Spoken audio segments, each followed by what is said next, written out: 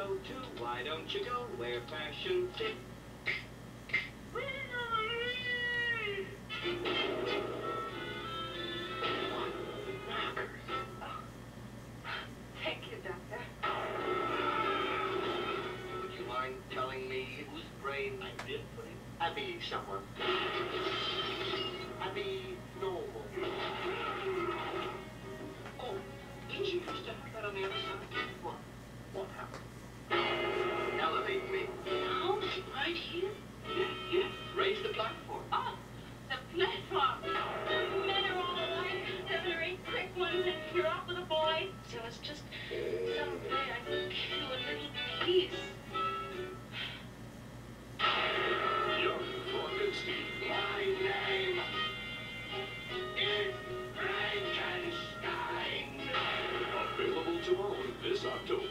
I think I love him. And one, two, three.